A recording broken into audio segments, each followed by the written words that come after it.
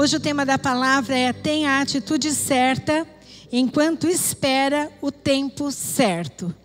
Ela está baseada em Eclesiastes capítulo 3 e verso 1.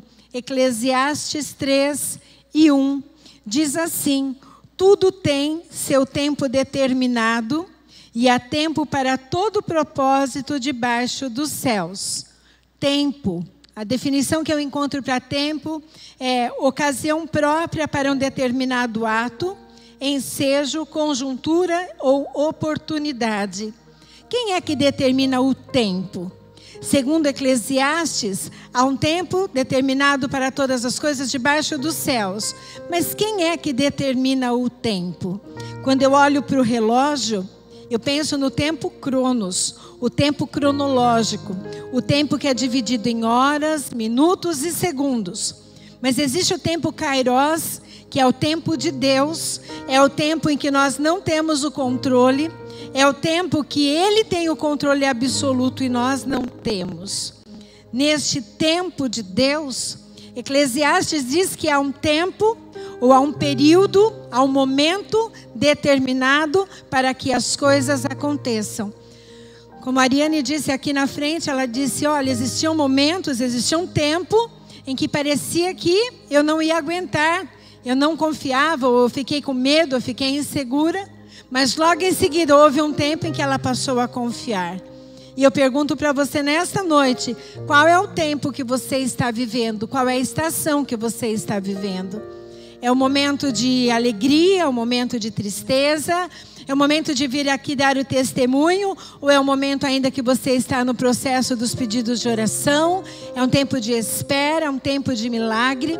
Não importa qual o tempo que você esteja vivendo, qual é a estação. Saiba que há um tempo determinado para todas as coisas debaixo dos céus. Há um tempo de espera e há um tempo de resposta. Há um tempo de perguntas, há um tempo de dúvidas, mas há um tempo também de solução. Há um tempo de enfermidade, mas há um tempo de cura. E a maioria de nós fazemos planos e temos pressa para que aquilo que nós planejamos aconteça. Temos pressa para realizar os nossos sonhos, os nossos projetos. Temos pressa para conquistar algo. Mas parece que o tempo não contribui quando estamos neste período de espera. A palavra de Deus em Provérbios 16 e 1. Provérbios 16 e 1 diz: O coração do homem pode fazer planos, mas a resposta certa vem dos lábios do Senhor.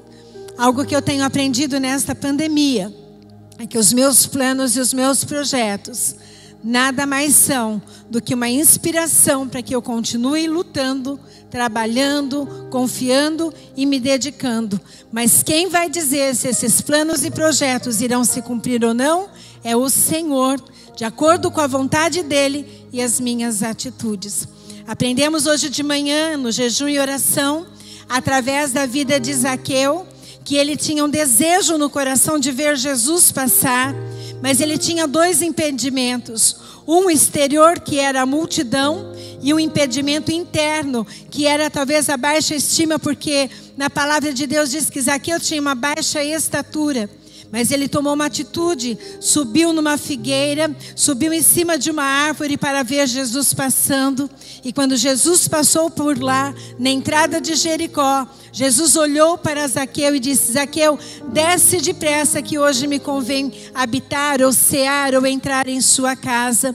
E diz a palavra de Deus que apressadamente Zaqueu desceu e alegremente recebeu o Senhor na casa dele e disse para Jesus: Olha, se eu extorquir pessoas, eu vou ressarci-las quatro vezes mais, e eu quero dividir tudo o que eu tenho, metade, com as pessoas que necessitam.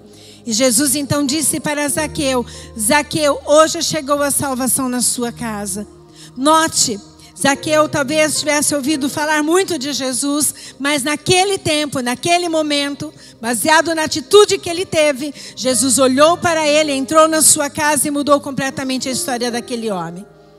Um homem que era rejeitado pela sociedade. Um homem que era rejeitado pelo seu povo, porque ele era um cobrador de impostos para o Império Romano. E era um homem rejeitado pelo Império Romano porque era judeu. Ele era um homem inapropriado para qualquer cultura, um homem inapropriado para qualquer situação. Mas houve um tempo em que Deus, Jesus, olhou para ele e entrou na sua casa. E ele estava preparado para aproveitar aquela oportunidade. A palavra de Deus, nós lemos agora em Provérbios 16, 1 diz que você pode fazer os planos, mas a resposta certa vem dos lábios do Senhor. E como é que Deus fala? Se a palavra vem através dos lábios, significa que Deus fala. Deus fala através da palavra, Deus fala através do ministro da palavra, Deus fala através do louvor, Deus fala através do testemunho, Deus fala através da leitura, do devocional, do seu tempo a sós com Ele. Deus fala. O problema é que muitas vezes nós não paramos para ouvir o que Deus fala, estamos ali né, como uma matraca falando, falando, falando, falando.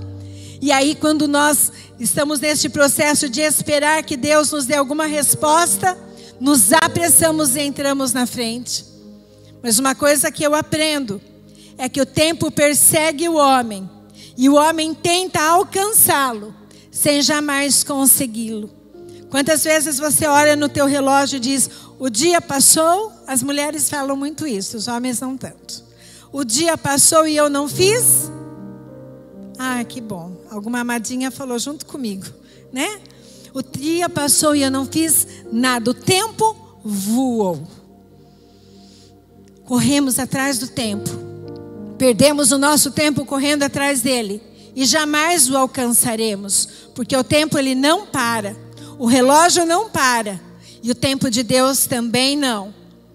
E esse tempo de Deus, esse tempo de espera, a Bíblia nos traz muitas histórias e muitos exemplos de histórias demarcadas pelo fator tempo, para nos mostrar que nem no passado, nem no presente, nem no futuro, o homem poderá controlar o seu tempo de vida, apressando ou retardando determinadas estações, fatos, situações.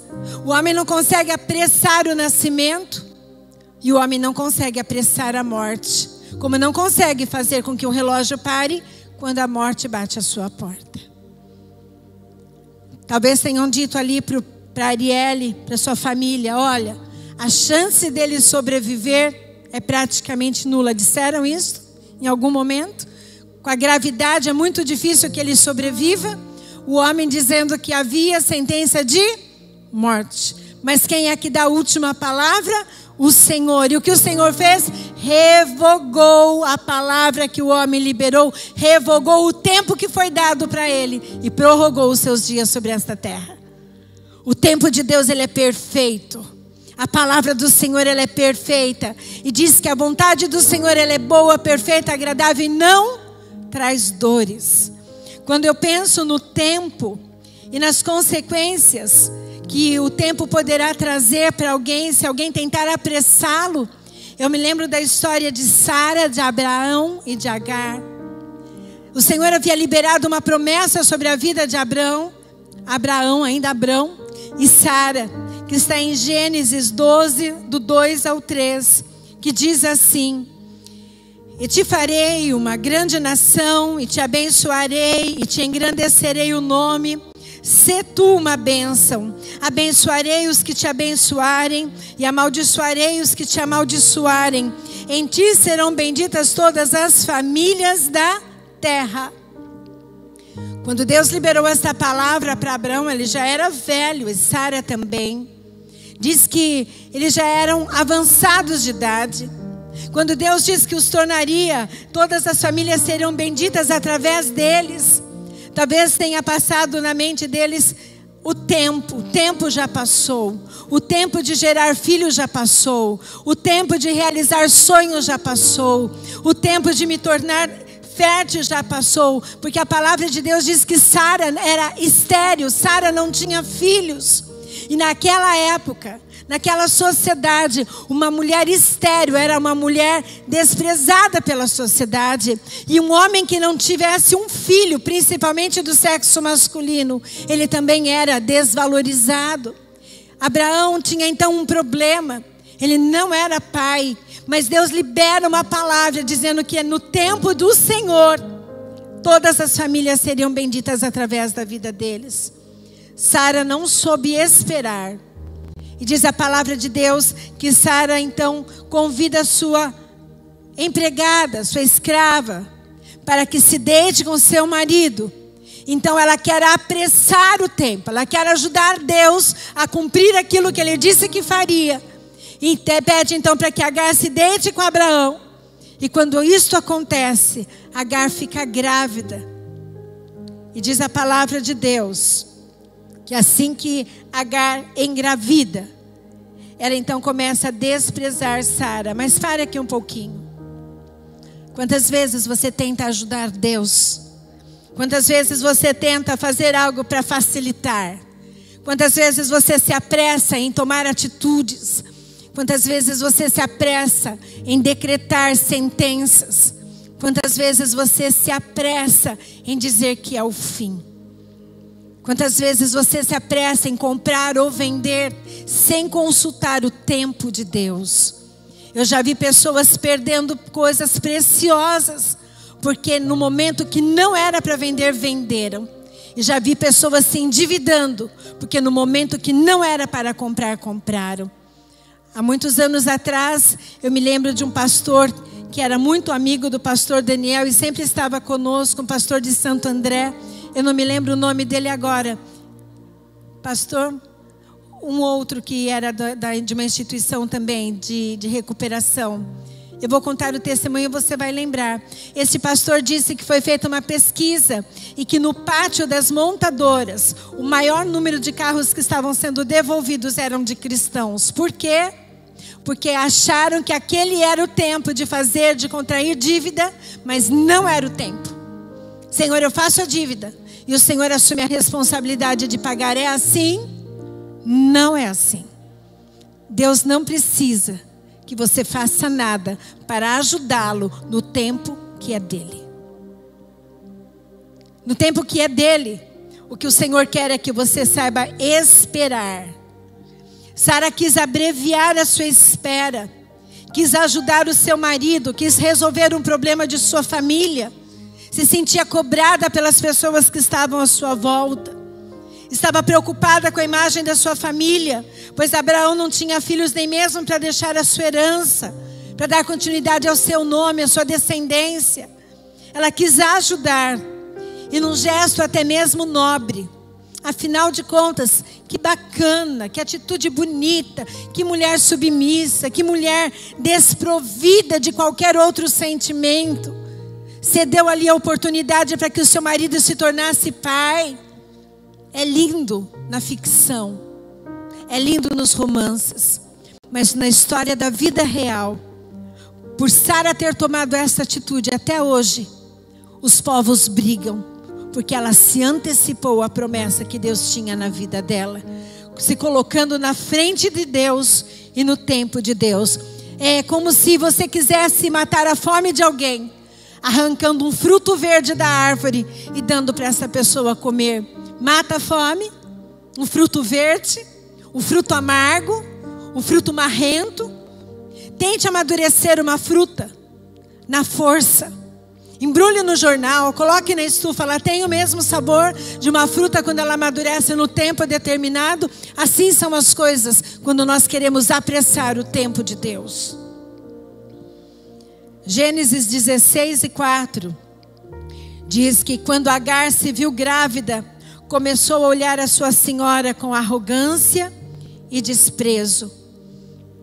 Aquilo que ela achava que era ruim se tornou agora ainda pior. Aquilo que ela achava que era desconfortável agora se tornou muito mais prejudicial para ela e para sua família. Porque todas as vezes que ela olhasse para Ismael, ela ia se lembrar aquilo que ela fez contra o tempo que Deus tinha na vida dela e do seu esposo. Mas existe um tempo perfeito, que é o tempo de Deus. É o tempo que, quando as coisas acontecem, elas acontecem da forma perfeita. Vimos aqui o testemunho. O tempo de Deus determinou o resultado que nós ouvimos o testemunho.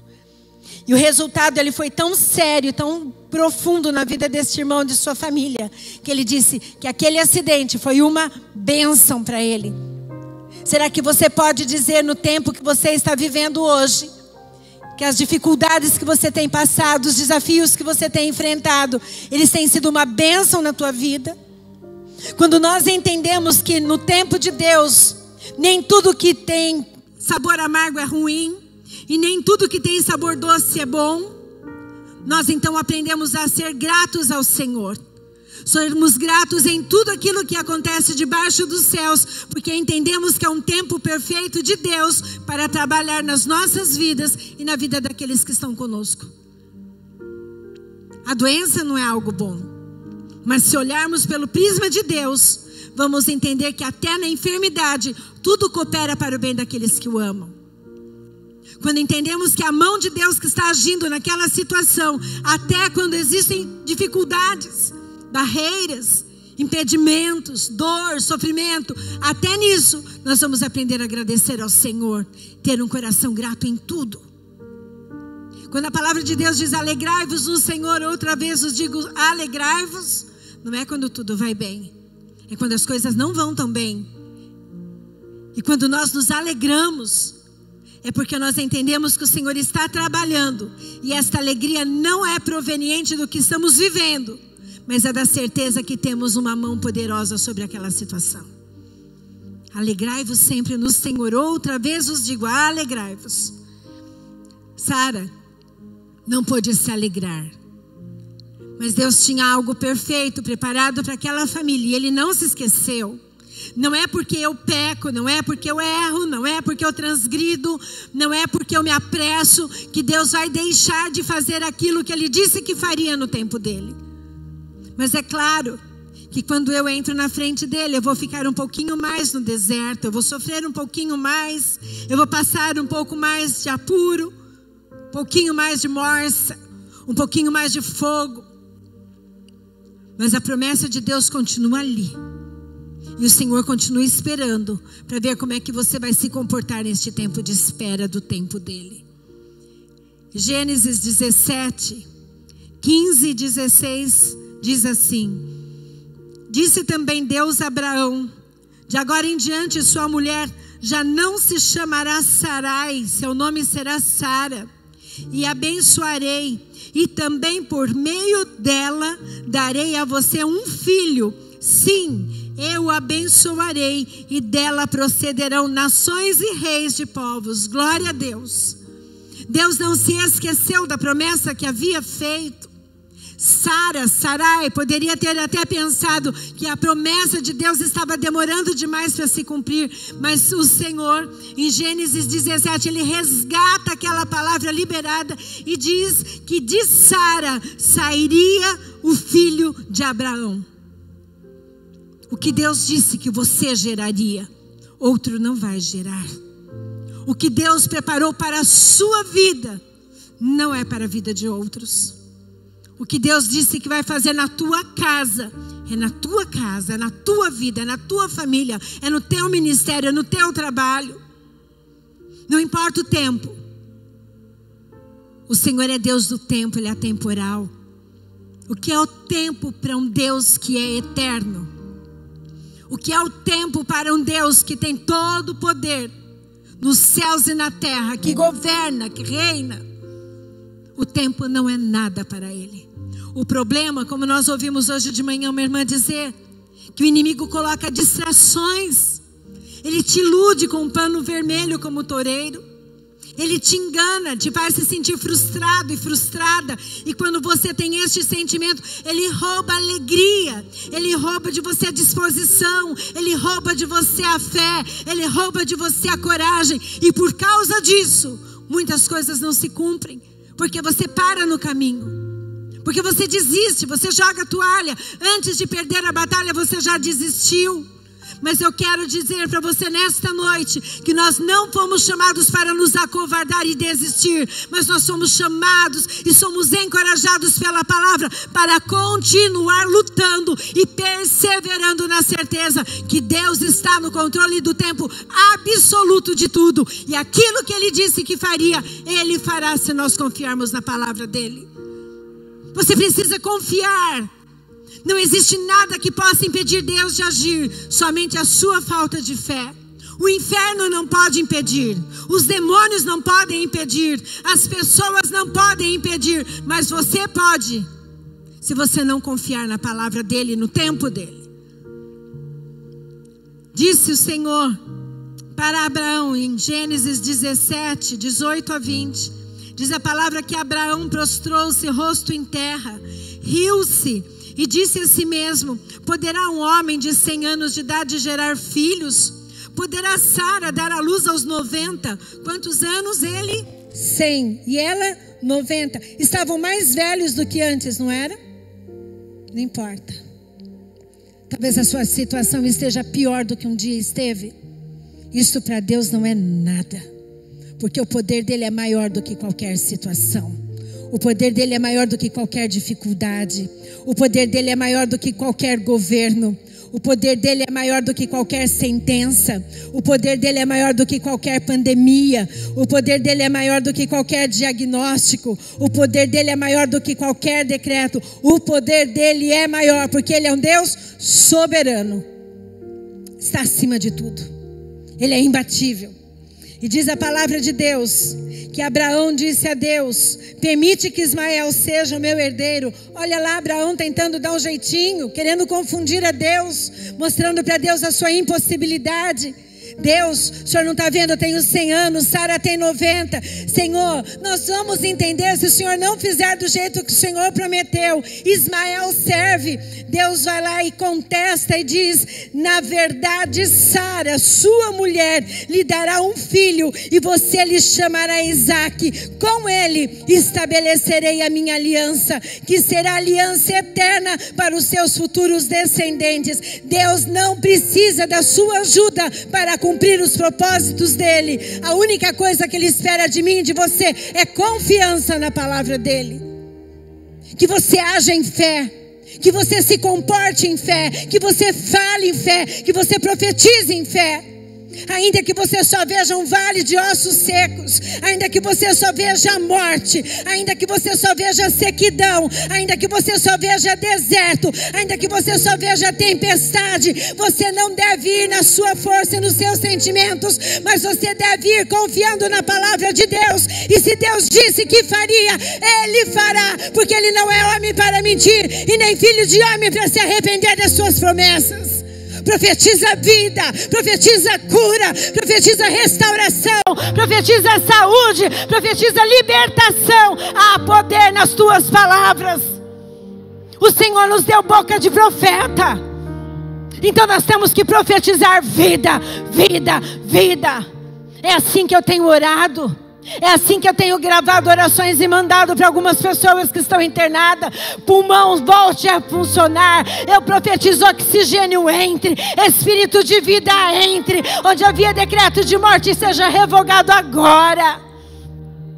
Porque não é pelo que eu faço, mas é por aquilo que Ele fez na cruz do Calvário. Tudo está consumado. E o Senhor nos deu a chave da vida e da morte nas mãos. A palavra de Deus diz que Ele nos deu poder e autoridade. E se nós temos poder e autoridade, não é para liberar morte, não é para liberar fracasso, não é para liberar perdas, mas é para liberar uma palavra de bênção e de vitória. Uma palavra que vem engrandecer o nome dEle. Ter fé baseado naquilo que você tem, isso não é fé. Acreditar naquilo que você pode fazer não é fé é capacidade, habilidade, competência. Fé quando nada parece provável.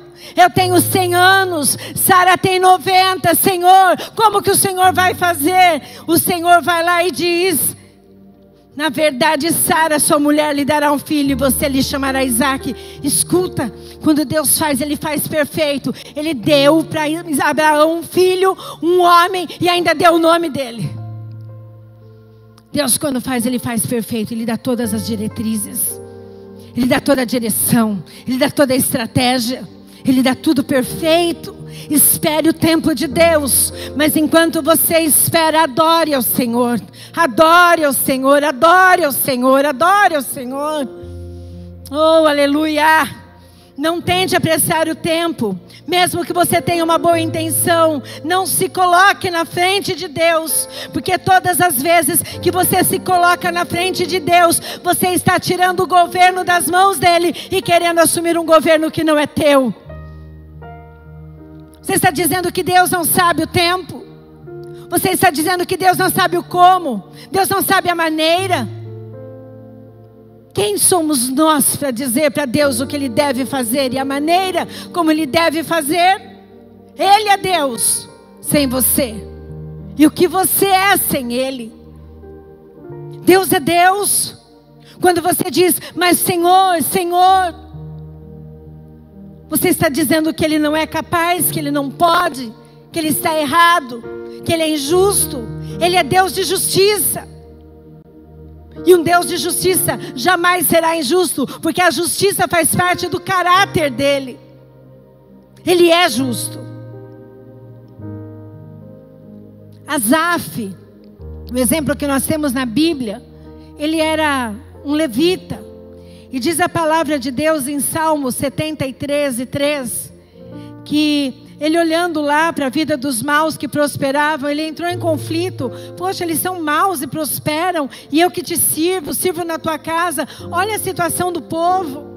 E diz a palavra de Deus que, pois eu invejava os arrogantes ao ver a prosperidade dos perversos. Diz que Azaf entrou num conflito muito grande, e eu quero dizer para você: entrar em conflito, irmãos, isso é humano. Eu também tenho os meus conflitos. Eu também tenho os meus conflitos, a minha agenda e a agenda de Deus às vezes se torna incompatível. E eu tenho que lutar na minha natureza carnal para que a agenda de Deus prevaleça sobre a minha agenda. O tempo de Deus prevaleça sobre o meu tempo. E Asaf então entrou nesse conflito, mas diz a palavra de Deus que quando ele chegou a questionar, ele teve uma atitude, e escute bem. Salmo 73, 16 e 17 diz assim: Quando eu tentei entender tudo isso, achei muito difícil para mim, até que entrei no santuário de Deus e então compreendi o destino dos ímpios. Quando você tentar entender algo que você não compreende, quando você achar difícil demais para você entender, faça como Asaf entre na presença de Deus, porque Ele vai te dar a compreensão necessária. Esse irmão precisou de 13 dias internado para compreender que aquele acidente não era para morte, não era para desgraça, mas era para que ele tivesse uma nova experiência com o Senhor. Ele teve que passar pelo vale da sombra e da morte para que hoje, se você for conversar com ele, eu não tivesse a oportunidade, talvez eu fosse perguntar, irmão Alessandro, mudou o significado das coisas? Você pode dizer, como salmista, ainda que eu ande pelo vale da sombra e da morte, eu não temerei mal algum, porque o Senhor está comigo. Talvez ele diga, com certeza, eu acredito. Que ele diga, eu tenho certeza, porque Deus esteve comigo quando ninguém podia estar. Ninguém poderá, por seus próprios esforços, alterar o tempo de Deus. A duração de cada época ou a estação da sua vida na vida de outros. Por isso, não se apresse pela urgência de outros, agindo baseado em sentimentos, emoções e percepções. Existem pessoas que são tão pilhadas, tão apressadas, tão negligentes, que estão apressadas para tomar decisões e fazer coisas, e apressam outro, que apressam outro, que apressam outro. Quando alguém chegar nessa situação para você, você diz: para.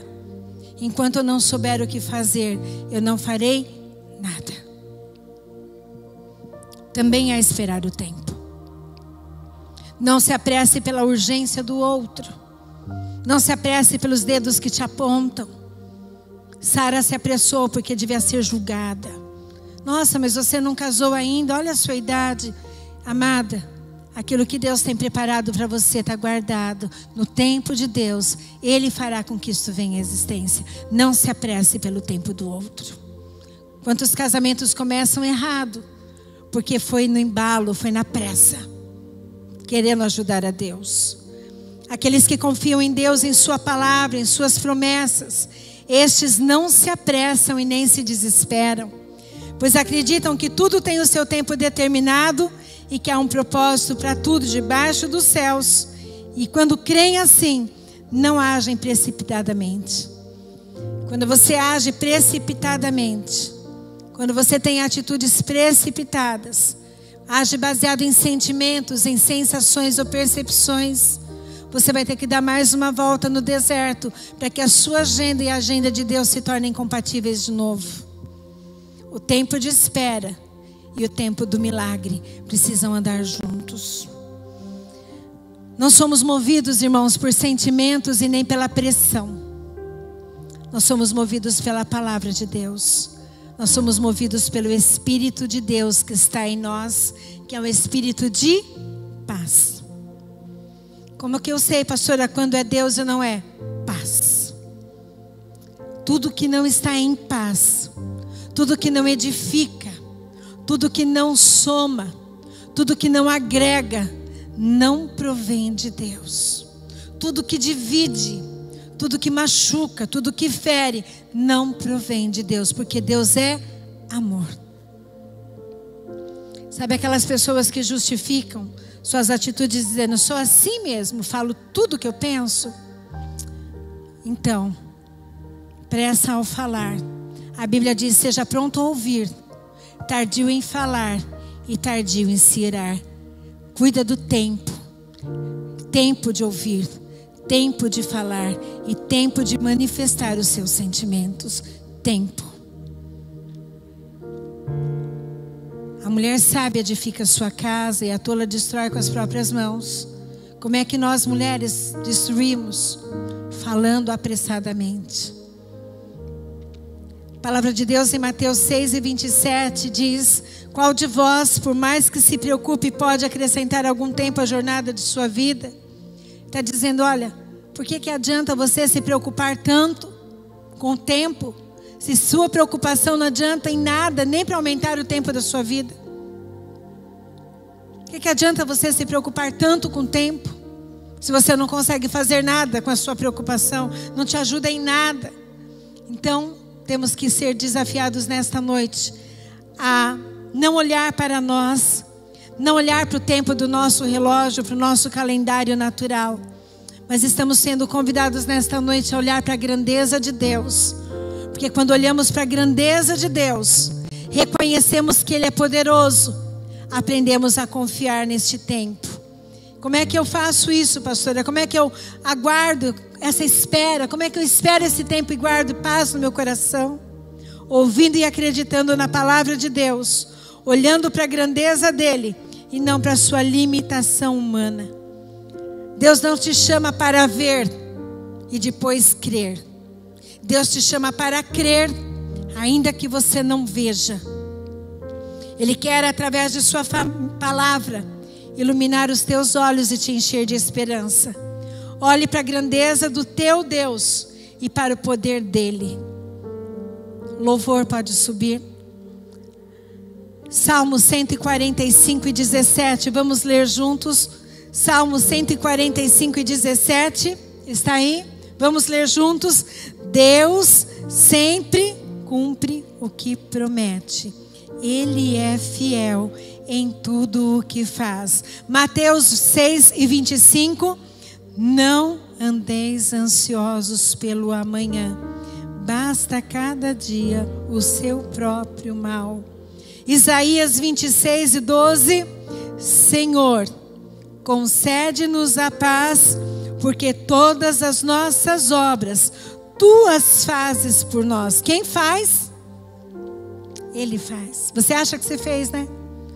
Ah, eu vim na igreja. Você não veio, amado. Quem te trouxe foi o Espírito Santo. Porque se não fosse Ele, você não estaria aqui. Dormi a noite inteira. Sabe por que você dormiu? Porque você confia que enquanto você dorme, o Senhor peleja por você. Senão você não dormiria. Ah, hoje eu tive um aumento de salário. Você não teve um aumento de salário. Foi o rei que liberou sobre a tua vida uma verba maior. Não é nada seu. Hebreus 12, 3. Pensem no sofrimento dele e como suportou com paciência o ódio dos pecadores. Assim vocês não desanimem e nem desistam. Quem disse isso? O Senhor. Se tudo está difícil e a dúvida tenta tomar conta de você, levante os seus olhos e veja o sobrenatural, pois quem tem promessa de Deus vence o mal.